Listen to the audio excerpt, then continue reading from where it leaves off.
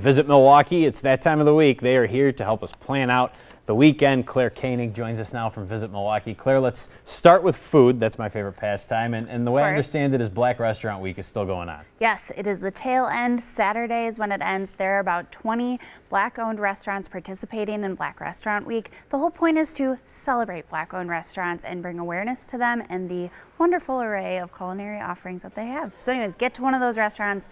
There's a list on their website. I know there's a lot, but any ones that come to mind right away? I love Irie Zulu, Funky Fresh Spring Rolls, which is in Sherman, Phoenix they're like the best things um, you could eat. So, and they're they're at those night markets downtown too. They're amazing.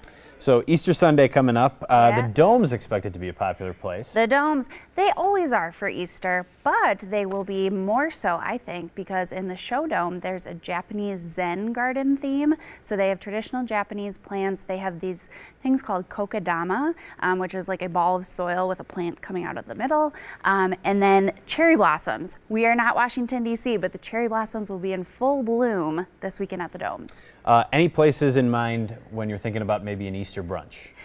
Especially if you don't want to cook that Easter brunch yourself. Um, the Milwaukee Art Museum has a really cool option. They have a, what I would think is a very chic buffet. Um, and then all of the Bartolotta restaurants are rolling out the red carpet. So again, pick your neighborhood Bartolotta restaurant, pick your favorite one. They will have an Easter brunch for you.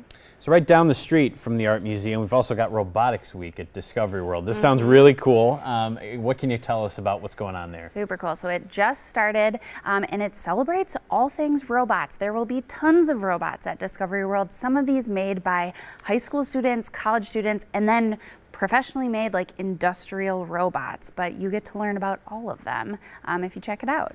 So cooking the Easter brunch wouldn't be bad if you can get one of the robots to do it. Exactly, right. Combine all these things. um, and then last thing, uh, we got some uh, great stuff going on at the Rep Yep. Okay. So August Wilson's Two Trains Running opens this weekend at the Rep. Um, he was one of the most prolific playwrights of the modern century. Um, it, he and his plays are all about the African American experience. This one is no different. It's about a diner owner in Pittsburgh right at the end of the civil rights movement. Um, and he's deciding whether or not he should sell his diner for an urban renewal project. Claire, thank you so much for being of here. Of course, for more information on everything happening this weekend, you can head to our website. That's tmj4.com.